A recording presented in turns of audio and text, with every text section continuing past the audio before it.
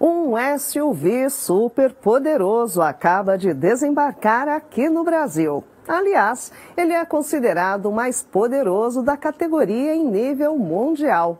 Pena que o preço também é fora da curva. Vamos conhecer.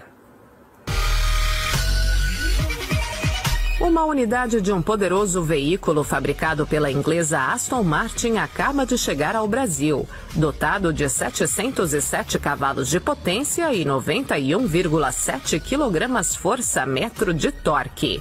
Estamos falando do DBX 707, um utilitário com desempenho bem esportivo. O modelo é considerado o SUV mais rápido do mundo. Ele é capaz de acelerar de 0 a 100 km por hora em apenas 3,3 segundos, algo bem perto do que pode fazer um potente Porsche 911 Turbo S, por exemplo em uma pintura de tom azul plasma. O exemplar que desembarcou por aqui vem recheado com o equivalente a 150 mil reais em itens opcionais.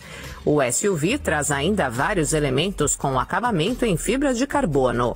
Sob o capô está um motor V8 biturbo de 4 litros, fornecido pela divisão de alto desempenho AMG da Mercedes-Benz.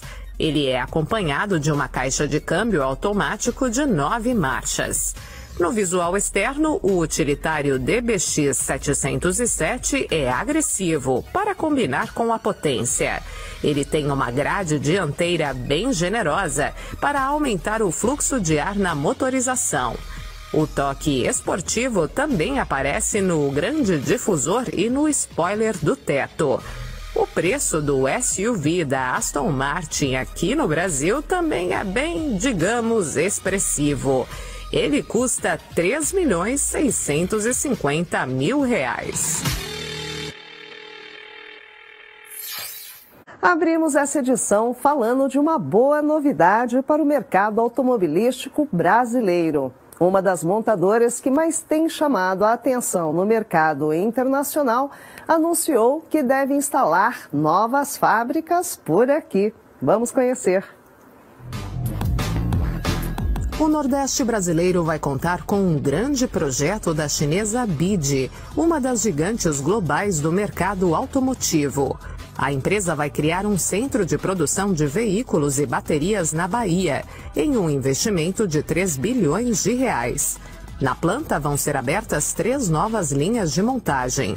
Segundo o acordo realizado entre a BID e as autoridades baianas, o Estado deverá contribuir com incentivos fiscais até o fim de 2032.